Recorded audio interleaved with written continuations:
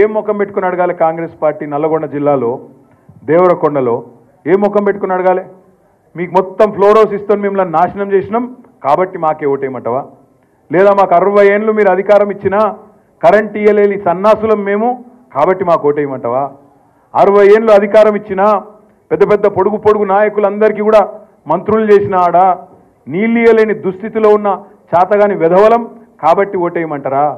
అరవై ఏండ్లున్నా కూడా రైతు బంధు ఇవ్వాలన్న ఆలోచన మా పుర్రెకు తట్టలేదు.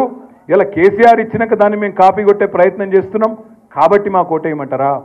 అరవై ఏళ్ళున్నా కూడా ఇరవై నాలుగు గంటల కరెంటు రైతులకు ఇవ్వాలన్న ఆలోచన ఎన్నడూ కూడా మాకు రాలే. ఇవాళ మాత్రం కేసీఆర్ ఇస్తాడు కాబట్టి ఆయన రోజుకి ఇరవై నాలుగు గంటలు ఇస్తే మేము నలభై ఎనిమిది గంటలు ఇస్తామని చెప్పి డైలాగులు కొడుతున్నందుకు కోటే అన్న. ఎందుకు వేయాలి కాంగ్రెస్ కోటు? కరెంట్ ఇచ్చిండ్రా ఆయన చక్కగా? మంచినీళ్ళు ఇచ్చిండ్రా? ఏమిచ్చింది కాంగ్రెస్ నల్లగొండకు ఫ్లోరోసిస్ తప్ప? వాళ్ళ నాయకులు పెరిగినరు ఒక్కొక్కరిని చూస్తే మళ్ళీ అంతంత ఉంటాడు. ఆరారు ఫీట్లు ఏడేడు ఫీట్లు.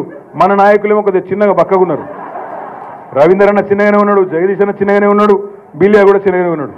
నేను బిలియా అన్న నాయక్ అంటే గట్టిగా ఉన్నాడేమో అనుకున్నా. నువ్వు కూడా పెద్ద పొడుగు లేవు బిలియా పోయి నేనేమంటున్నా వాళ్ళు ఆజానుబాహులు ఒక్కొక్కడు ఆరు ఫీట్లు ఆరున్నర ఫీట్లు ఉన్నాడు కానీ వాళ్ళు పెరిగిండ్రు కానీ ప్రజలను మాత్రం పెంచలే. అదే కేసీఆర్ పాపం. బక్కగా ఉంటాడు సారు. కానీ ఆయన మాత్రం ఇలా నెంబర్ వన్ స్టేట్ చేసిండు తలసరి ఆదాయంలో నెంబర్ వన్ స్టేట్ చేసిండు కేసీఆర్ గారు తెలంగాణ.